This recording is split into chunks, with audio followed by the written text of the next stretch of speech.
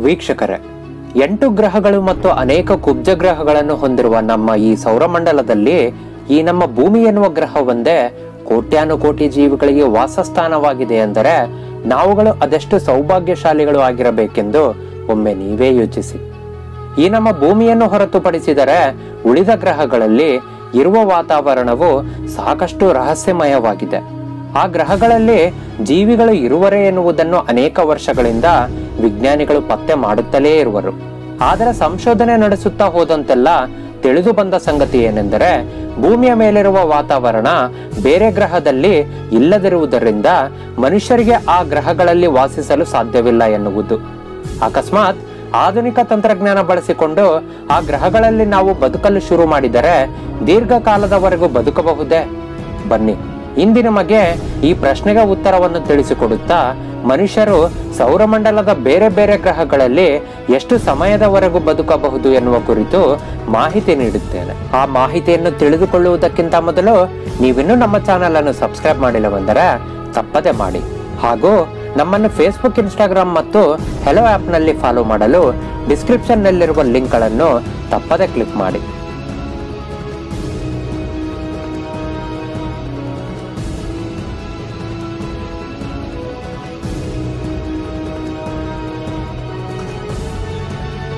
ಮಂಗಳ ಗ್ರಹ.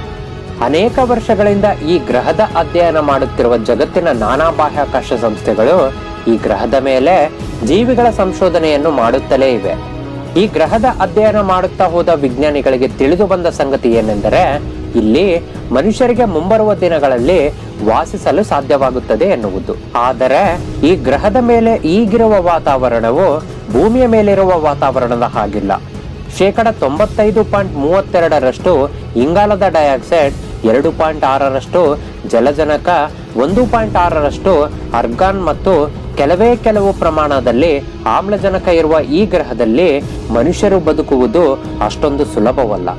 ಇಲ್ಲಿರುವ ಅತಿ ಹೆಚ್ಚು ಪ್ರಮಾಣದ ಇಂಗಾಲದ ಡೈಆಕ್ಸೈಡ್ ನಿಮ್ಮನ್ನು ಉಸಿರಾಡಲು ಬಿಡದೆ ಕೊಂದು ಬಿಡುತ್ತದೆ. ಅಕಸ್ಮಾತ್ ನೀವು ಆಮ್ಲಜನಕದ ಸಿಲಿಂಡರ್ ಬಳಸಿ ಈ ಗ್ರಹದಲ್ಲಿ ಬದುಕಲು ಪ್ರಯತ್ನ ಪಟ್ಟರೂ ಕೂಡ ಇಲ್ಲಿರುವ ಮೈನಸ್ ಅರವತ್ತು ಡಿಗ್ರಿ ತಾಪಮಾನ ನಿಮ್ಮನ್ನು ಕೊಲ್ಲುತ್ತದೆ. ಒಟ್ಟಿನಲ್ಲಿ ಈ ಗ್ರಹದಲ್ಲಿ ಗರಿಷ್ಠವೆಂದರೆ ಎರಡು ನಿಮಿಷ ಬದುಕಬಹುದಷ್ಟೆ. ಬುಧ ಗ್ರಹ ಸೂರ್ಯನಿಗೆ ಹತ್ತಿರವಿರುವ ಈ ಗ್ರಹವು ನಮ್ಮ ಸೌರಮಂಡಲದಲ್ಲಿರುವ ಅತ್ಯಂತ ಪುಟ್ಟ ಗ್ರಹವಾಗಿದೆ. ಈ ಗ್ರಹದ ಮೇಲೆ ಬೆಳಗ್ಗೆ ತಾಪಮಾನವು ನಾನ್ನೂರ ಇಪ್ಪತ್ತೇಳು ಡಿಗ್ರಿ ಸೆಲ್ಸಿಯಸ್ ವರೆಗೂ ಇದ್ದರೆ ರಾತ್ರಿಯ ವೇಳೆ ನೂರ ಎಪ್ಪತ್ತೆಂಟು ಡಿಗ್ರಿ ಸೆಲ್ಸಿಯಸ್ ಇರುತ್ತದೆ.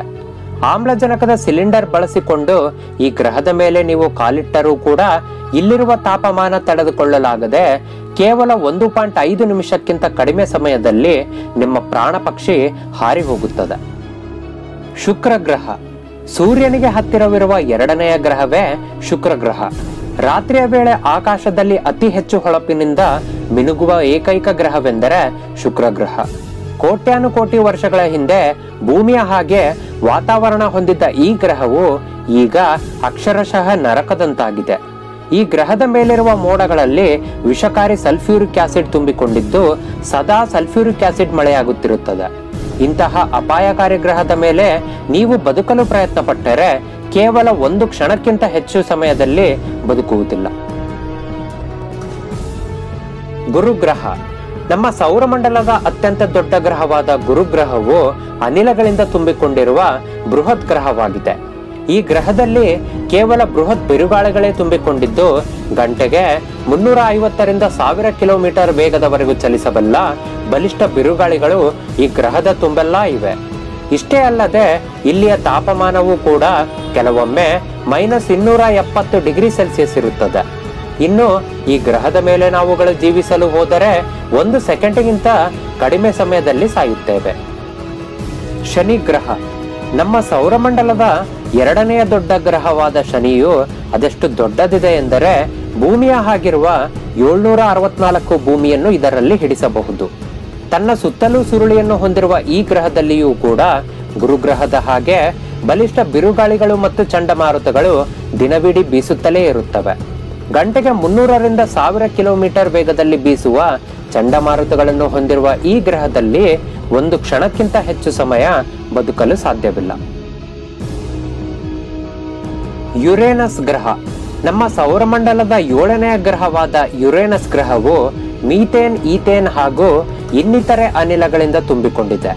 ಮೈನಸ್ ನೂರ ಅರವತ್ತೆಂಟು ಡಿಗ್ರಿ ಸೆಲ್ಸಿಯಸ್ನಿಂದ ಮೈನಸ್ ಇನ್ನೂರ ಇಪ್ಪತ್ತೆಂಟು ಡಿಗ್ರಿ ಸೆಲ್ಸಿಯಸ್ ತಾಪಮಾನ ಹೊಂದಿರುವ ಈ ಗ್ರಹದ ಮೇಲೆ ಮನುಷ್ಯರು ಬದುಕಲು ಪ್ರಯತ್ನ ಪಟ್ಟರೆ ಕೇವಲ ಐವತ್ತೈದು ಸೆಕೆಂಡ್ಗಿಂತ ಕಡಿಮೆ ಸಮಯದಲ್ಲಿ ಸಾಯುತ್ತಾರೆ. ನೆಪ್ಚೂನ್ ಗ್ರಹ ಸೂರ್ಯನಿಂದ ಅತ್ಯಂತ ದೂರದಲ್ಲಿರುವ ಈ ಗ್ರಹದಲ್ಲಿ ಶೇಕಡ ಎಪ್ಪತ್ನಾಲ್ಕರಷ್ಟು ಹೈಡ್ರೋಜನ್, ಇಪ್ಪತ್ತೈದರಷ್ಟು ಹೀಲಿಯಂ ಮತ್ತು ಶೇಕಡ ಒಂದರಷ್ಟು ಮೀಥೇನ್ ಅನಿಲ ತುಂಬಿಕೊಂಡಿದೆ. ಈ ಗ್ರಹದ ವಾತಾವರಣವನ್ನು ಕಡಿಮೆ ಉಷ್ಣವಲಯ ಮತ್ತು ವಾಯುಮಂಡಲ ಎಂದು ವಿಂಗಡಿಸಲಾಗಿದೆ. ಈ ಕಡಿಮೆ ಉಷ್ಣವಲಯದಲ್ಲಿ ಮೈನಸ್ ಇನ್ನೂರ ಹದಿನಾಲ್ಕು ಡಿಗ್ರಿ ಸೆಲ್ಸಿಯಸ್ ಉಷ್ಣಾಂಶವಿರುತ್ತದೆ. ಇನ್ನು ವಾಯುಮಂಡಲದಲ್ಲಿ ಸದಾ ಬಿರುಗಾಳಿಗಳು ತುಂಬಿಕೊಂಡಿರುತ್ತವೆ. ಇಂತಹ ಗ್ರಹದಲ್ಲಿ ನಾವುಗಳು ಬದುಕಲು ಪ್ರಯತ್ನ ಪಟ್ಟರೆ ಕೇವಲ ಅರವತ್ತು ಸೆಕೆಂಡ್ಗಿಂತ ಕಡಿಮೆ ಸಮಯದಲ್ಲಿ ಸಾಯುತ್ತೇವೆ. ನೋಡಿದಿರಲ್ಲ ವೀಕ್ಷಕರೇ, ಹೇಗೆ ಮನುಷ್ಯನು ಸೌರಮಂಡಲದ ಬೇರೆ ಗ್ರಹಗಳಲ್ಲಿ ವಾಸಿಸಲು ಪ್ರಯತ್ನ ಪಟ್ಟರೆ ಅದೆಷ್ಟು ಸಮಯ ಬದುಕುತ್ತಾನೆ ಎನ್ನುವುದನ್ನು. ಇದರೊಂದಿಗೆ ನಮಗೆ ತಿಳಿಯುವ ಸಂಗತಿ ಏನೆಂದರೆ, ನಮ್ಮ ಭೂಮಿಯ ಮೇಲಿರುವ ವಾತಾವರಣವನ್ನು ಸೌರಮಂಡಲದ ಬೇರೆ ಯಾವ ಗ್ರಹಗಳು ಕೂಡ ಹೊಂದಿಲ್ಲ. ಆದ್ದರಿಂದ ಈ ನಮ್ಮ ಗ್ರಹವನ್ನು ಹಾಳು ಮಾಡಿಕೊಳ್ಳುವುದನ್ನು ಬಿಟ್ಟು ಅದನ್ನು ಕಾಪಾಡಿಕೊಳ್ಳುವುದು ನಮ್ಮೆಲ್ಲರ ಕರ್ತವ್ಯವಾಗಿದೆ. ಇಲ್ಲವಾದಲ್ಲಿ ನಮ್ಮೆಲ್ಲರ ಸಮಾಧಿಯನ್ನು ನಾವೇ ತೋಡಿಕೊಂಡ ಹಾಗೆ ಆಗುತ್ತದೆ.